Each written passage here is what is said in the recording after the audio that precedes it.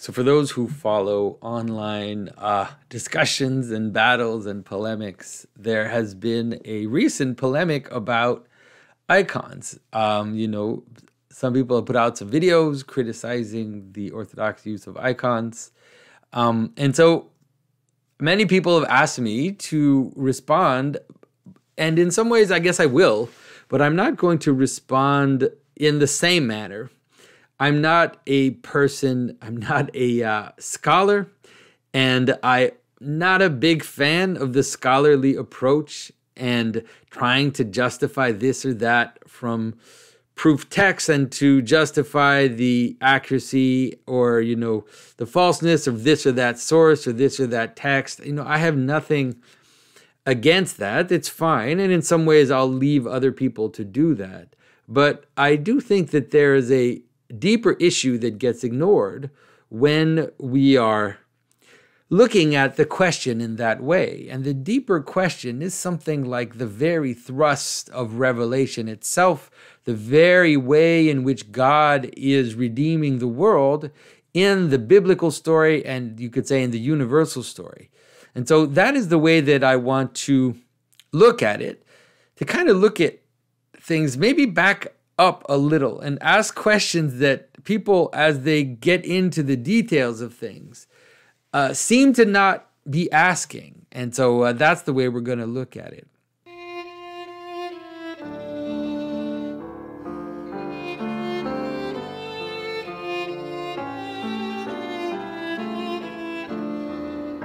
This is Jonathan Pageau. Welcome to the Symbolic World.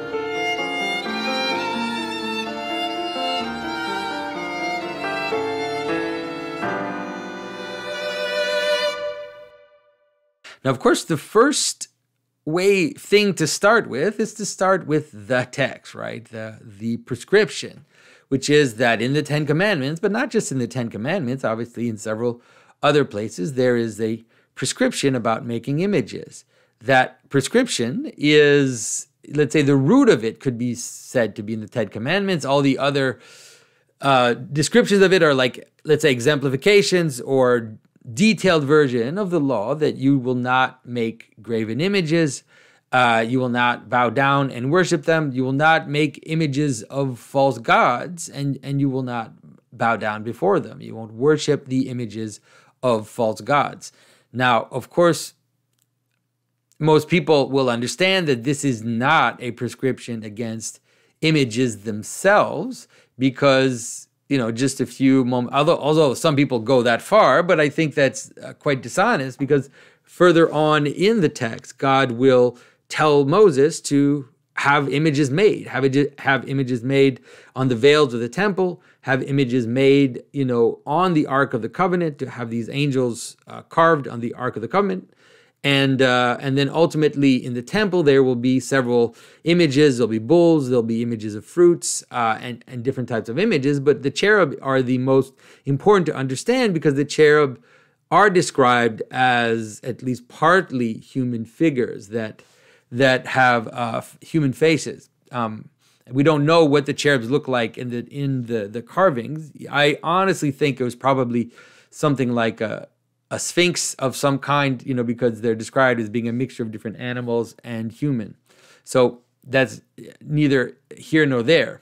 So, so the idea is that it's not necessarily, of course, a criticism of uh, image making, but it is a criticism of making idols and also uh, bowing down and worshiping in front of these idols. Now, what's interesting to ask is the questions that I guess some people don't don't ask, which is what's the deal with the second commandment? What is the reason for the second commandment?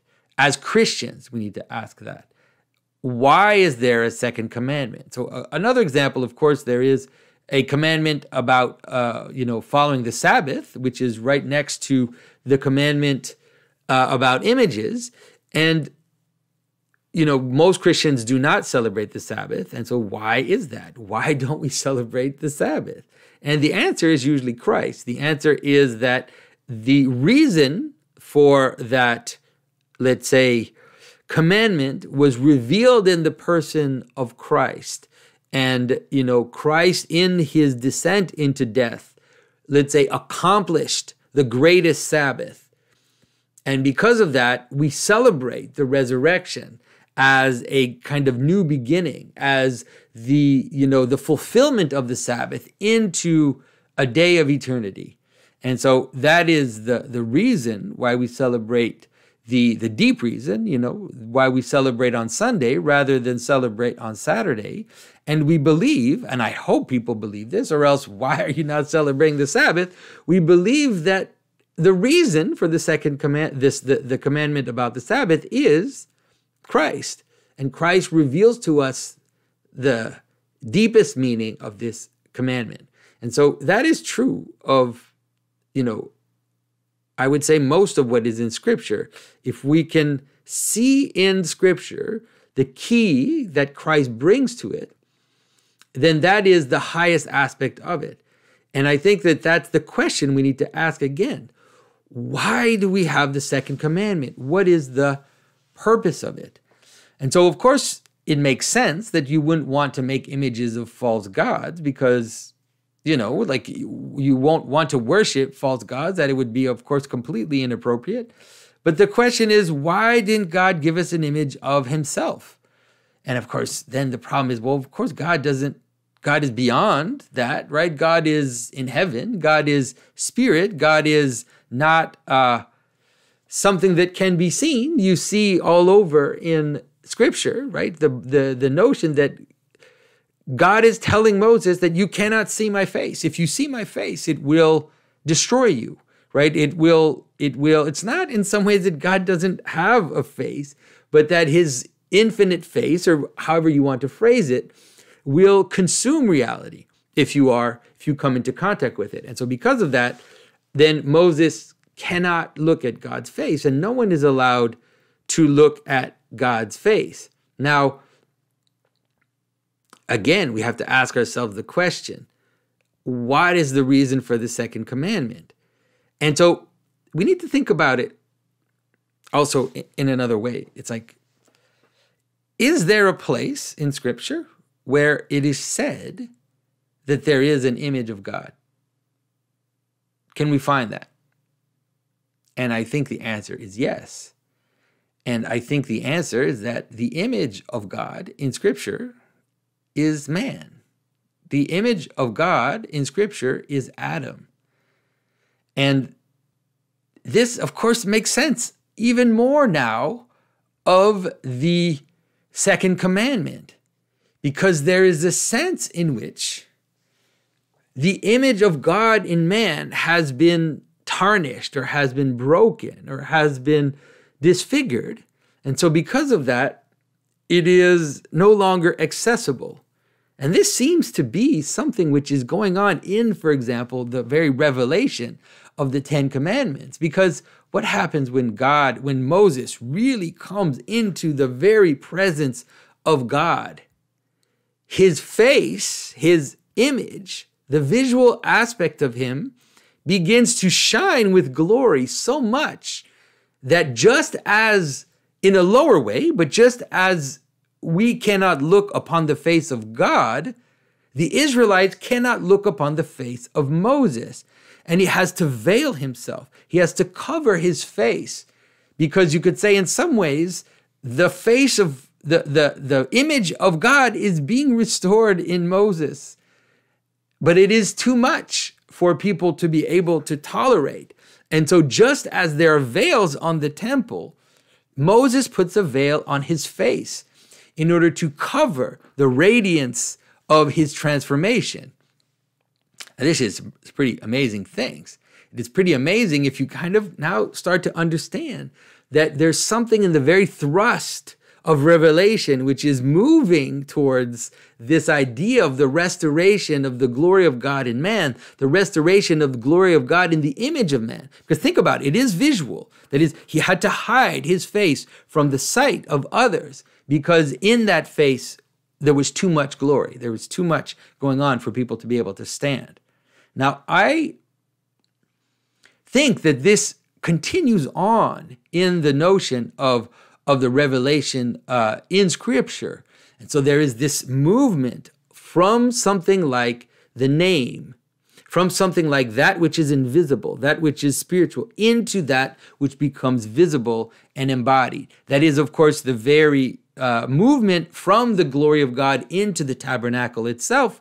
It is the same movement that I'm telling you about how there's this glimmer, this transformation of Moses as he comes down the mountain, but this gets taken up as revelation progresses and as God promises to fill the world with his spirit, to fill the world with his glory. So in the prophetic text, we start to see a very strange thing uh, start to happen. So in the prophetic text, all of a sudden, this image of man starts to appear. And it's very, uh, very fascinating because what is going on in this question? So, in the book of Daniel and in the book of Ezekiel, the prophets have this perception. They see on a throne, sitting next to God, you know, let's say it's sitting. And it's important to understand that the figure is sitting. It's the figure is not standing. If the figure was standing, we would understand that the figure is like an angel that is serving the king, right? Like a servant serving the king. But no, there is a throne there. And the figure that is there is sitting on the throne. And in sitting on the throne, he becomes the one that is served, the one that has to be served by the angels. And what does what do the prophets see? They see the figure, the image of someone like the Son of Man, of someone that has the image of the Son of Man. This is very fascinating, isn't it? What's going on? All of a sudden, the possibility of seeing this figure standing next to, uh, sitting in the throne next to the next to the throne of God, and also being, let's say, in the glory of God. And so, right, this image that Ezekiel describes of the the four uh, cherubs, like these four these four wheels of a chariot that is like the earth itself and above you know sitting you know uh, surrounded by a rainbow uh, on a throne is this image of the son of man now of course you know most christians will understand that what he's seeing is is the divine logos but already the logos as in the figure of a man that is already christ uh, as being the one who will, now I'm going to push you a little bit, who will restore the image of God in man. And so this is what's going on. That's why he's seeing a son of man, even before we know who that is. He's seeing a son of man sitting on a throne next to God, because that in some ways is the plan of God from, you know, from the fall itself is to restore, not even before that, even in the creation of man, the the the purpose of God was to instill his image into the world, you know, uh, and and now it is to restore it in Christ. So this is what is going on. So it's all kind of there in the thrust of revelation and we can understand it like I said as the very let's say as the very structure of revelation itself that is moving from heaven down to earth, moving from the invisible to the visible, moving from the, you know, the, let's say, from the invisible uh, or glory to the, or light into space. And of course, I think also moving from name into image. Um, and the idea in some of these polemical videos that the Christians at the early centuries had no concept of this at all. We're, we're not at all aware of any of the, at least the thrust of this movement, I think is, is a little dishonest. So I'm, I'm going to read for you uh, a text, an apocryphal text. Uh, and it's an apocryphal text that is not in scripture, but it will it's an apocryphal text that was written between the first and the third century. It's called The Life of Adam and Eve. And in this, you get a sense that at least the Christians and the late Jews had an understanding of what it is that was going on and the relationship between the fall of Adam and the second commandment. You know, it's like I, you always have to ask yourself, what is the second commandment for? What is its purpose? And so I'm going to read from you from the book of the life of Adam and Eve. And so now it is the it's the devil speaking. The devil says, O Adam, all my hostility, envy, and sorrow is for thee, since it is for thee that I have been expelled from my glory, which I possessed in the heavens. In the midst of the angels, and for thee I was cast out in the earth. Adam answered, What dost thou tell me? What have I done to thee? Or what is my fault against thee, seeing that thou hast received no harm or injury from us? Why dost thou pursue us? The devil replied, O Adam, what dost thou tell me? It is for thy sake that I have been hurled from that place. When thou wast formed, I was hurled out of the presence of God and banished from the company of the angels. When God blew into thee the breath of life, and thy face and likeness was made in the image of God, Michael also brought thee and made us worship thee in the sight of God. And God the Lord spake, Here is Adam I have made thee in our image and likeness. And Michael went out and called all the angels, saying, Worship the image of God, as the Lord God hath commanded. And Michael himself worshiped first. And he called me and said, Worship the image of God. Worship the image of God the Lord. And I answered, I have no need to worship Adam. And since Michael kept urging me to worship, I said to him, Why dost thou urge me? I will not worship an inferior and younger being than I. I am his senior in the creation. Before he was made, I was already made. It is his duty to worship me. When the angels who were under me heard this, they refused to worship him. And Michael saith, Worship the image of God. But if thou wilt not worship him, the Lord God will be wrath with thee. And I said, If he be wrath with me, I will set my seat above the stars of heaven and will be like the highest. This is, of course, the oldest version of the fall of Satan, not of falling before the creation of humans, not before, not falling, you know, in this ancient, ancient way uh, that is described uh, in more recent texts, but falling because he did not agree to bow down to the image that God had put of himself in the world in Adam.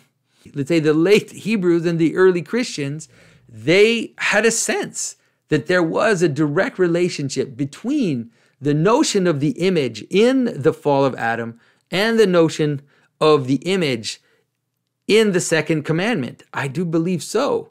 And that, and also not just that, but the movement in the revelation of how the Son of Man appears sitting on a throne next to God. Now, of course, this will be come to be fully kind of revealed in the person of Christ as being the image of this Son of Man, of this restoration of the of the of the image of God in man, the restoration of the place of man sitting on the throne next to God. Uh, in the person of Christ. And, and the early Christian artists knew this very, very well. And so some of the very first, uh, some of the earliest art that still, let's say, survives iconoclasm uh, in it, you will see that this is what they are representing. So, this is an image of the ascension of Christ from the Rabula Gospel, which is a Syrian uh, gospel from the sixth century. And so, in this image, you see Christ as exact, it's the ascension, but it's the ascension represented as Christ being the Son of Man, Christ being on the chariot of the of the uh, cherubim, you know, represented in this particular way with the four heads and the wheels and the eyes, and that this is the restoration. This is the full revelation of what is being hinted at, of what is being suggested in the book of Daniel and in the book of Ezekiel. And so the idea that it might have taken Christians time to fully understand the scope of what the story of Christ was bringing, of what the incarnation, the consequences of the incarnation for us, is something that I can I can understand, you know, and and I think that pushing very hard to act as if the early fathers of the church were completely aware and hadn't totally you know dealt with what was what the relationship between what the consequences of all the consequences of the incarnation of Christ were. I I'm okay with accepting that, but it doesn't change the thrust of what is happening. And so it's interesting because in you know, in some of the polemic videos, there's this sense that there is no difference between veneration and worship, that there is no difference of levels between, you know, bowing down uh, and worshiping God in the sense of acknowledging, you know, God as being the highest and being the source of all things. And I think that that is that's a dishonest take. You know, there are many images of, uh, let's say, the relationship a, an honorable relationship towards mediation in Scripture. You know, uh, there is of course the the image of Joshua who bow down before bow uh, bows down before the uh, Ark of the Covenant. You know, you have images different places where people bow down to each other, and so the idea that people couldn't distinguish bowing down before something to honor it, to see in it a vehicle, let's say, of God's of God's grace or God's presence, and then the, the, the absolute worship of God Himself. I think that is that's a dishonest statement. Uh, you know, people did bow down before kings, bow down before all these things, and you know, bow and the idea that there's no relationship at all, like bowing down before a king, you know, is not connected in any way to bowing down before other things. It's it's ridiculous. It really is an understanding of power, an understanding of authority, an understanding of something which is, at least it is showing us how the authority of God works with us. It's a mediated version of God's, uh, God's authority on us. Uh, the idea that we would be willing to bow down to that is completely normal in, in the Old Testament. Uh, and so I don't see that I don't see that that's an honest argument to say that there's no distinction between the two. Um, and the best example of that is actually not in the physical bowing down, but it is in the way that the people in the Old Testament praise the name of God. And so it's very interesting, right? Uh, you see so many examples of it, right? In uh, Nehemiah 9 5 6, stand up and praise the Lord your God, uh, who is from everlasting to everlasting. Blessed be your glorious name. It may be exalted above all blessings and praise. Uh, of course, in the Psalms, there are so many versions of this. Um, and it's interesting because in Psalm 99, there's a version of it, uh, and uh, we can look at it because it's fascinating. It says, The Lord reigns, the nations tremble. He sits enthroned between the cherubim. Let the earth shake. And so it's saying that he sits enthroned between the cherubim, the glory of God on the ark of the covenant, right? Great is the Lord in Zion. He is exalted over all the nations. Let them praise your great and awesome name. He is holy. The king is mighty. He loves justice. You have established equity in Jacob. You have done what is just and right. Exalt the Lord our God and worship at his footstool. He is holy. And so it's fascinating because uh, in one of the polemical videos, uh, there's trying to deconstruct this as if this is not suggesting that people are worshiping in front of the Ark of the Covenant, or that the Ark of the Covenant is in some ways the place that you bow down, that you that you are, let's say, relating to in order to uh, worship God. But then just you know, two two two two uh, verses up, you see that there is a, a relationship to that mediation because he's saying, "Praise your great and awesome name."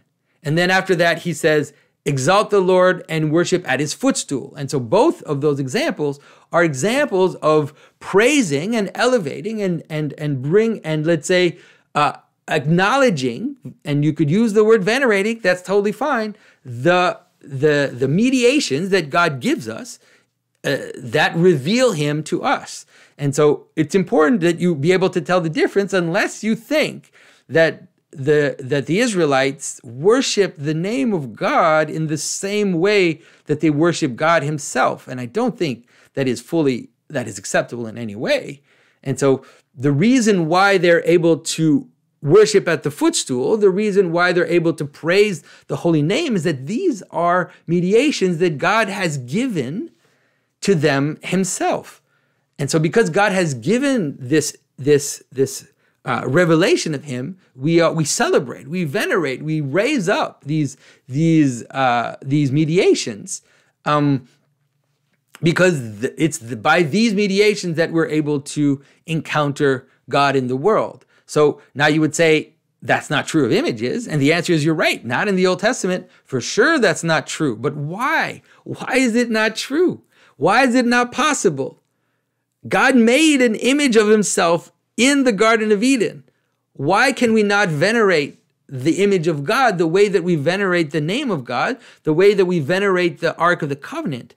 It is because God is working to restore that image in us. You know, and there are already hints of that, right? I think there are hints of that already in the in the Bible, where you see uh, people bowing down before each other. It's not totally clear. Like there are different reasons why you bow down, but nonetheless, the whatever reason it is, the lowering of yourself in front of someone else has a structural relationship. You're lowering yourself and you're raising up someone else. When you lower yourself, you're raising up someone else. So there's no difference between praising the holy name and bowing down before something. Those are the same thing. They're both making yourself lower in relationship to something. So they're they're just the same thing. Um, so the answer to that is that God gives us an image of himself. God restores the image in Christ. And so the image becomes a place of revelation of God. And not only would I go say that, but I would say that the reason for the second commandment, the spiritual reason for the second commandment, is a promise that God will give us an image of himself, that God will restore the image of himself that has been tarnished and broken at the fall, and that is Christ. So the image becomes a mode, just like the name becomes a mode of revelation. And people will get caught up in the technicalities of it. Like people will say, well, we don't really know what Jesus looked like, so you can't really represent him, uh, blah, blah, blah, blah, blah. Like this is irrelevant. This is irrelevant for the same reason you can say, well, you didn't hear the name of God in your ear when God said it, so you don't really know how to pronounce it. And so you shouldn't be, uh, you know, you shouldn't in any ways think that you have access to the name of God. Uh, the, it is a question of mode. And so when we praise the name of Jesus, we know that the way we say Jesus is not the same way that it was said in the first century. Uh, and that's okay. You know, that's not the point is not to be to be to be completely technically accurate. Obviously, you can't I mean there's a there's a range right? There's a range of recognizability. You can't decide that the name of Jesus is Oscar and then praise the name of Oscar, but it also isn't about just about being technically accurate. The same thing is for the image. We have a, a way to recognize the image of Christ. We have a, a way that has been that has been fostered and received in the church of recognizing the image of Christ. And we see the image of Christ as a mode of revelation of God. And this, this is something that we should be that I, it's like I said, I understand why it took time for the Christians to see that, but it's something that we should be rejoicing of because it is a proof of the restoration of what it's a, it's an arc that starts in Genesis and moves all the way into revelation as you know the, the image of the holy city which comes down from heaven the space which is filled with the glory of god you know then now the image of the son of man sitting on a throne that you find in revelation you know is another version of that is another version of the filling the filling of the presence of god in the world. And so i mean that's mostly what i wanted to help you understand is that if you i understand people getting caught up uh, in the, the in reading the source text and looking at what this or that church father said or didn't say, where the holes and where the proofs. Like that's fine. Some people need to do that, but I think that the I think that the argument uh, is made much far more deeply from the very thrust of what revelation is, and from the very thrust of the entire narrative of of Scripture. And so, you know, as Orthodox Christian, we see just like we see in the name of Jesus and in the name of God, a, a place where God has revealed himself to us. And so we, we praise the name of Christ, we, we praise the name of God. Uh, and we also see in the image a place that God has revealed himself. And that, that, that revelation is a, is a fulfillment, I think. It's a fulfillment of a great story which starts at the beginning uh, in Genesis. So I hope this has been useful. And I know it won't convince people that that are looking, you know, to that that have a kind of let's say a technical way of reading that want to just see the proof text and the source text and and like and try to to encode it that way uh, and all i would ask you to do is to maybe pull out a little bit and ask yourself the bigger questions the bigger questions of what is the thrust of the entire story so i hope this was helpful to at least some of you. Uh, thank you for your attention and uh, talk to you very soon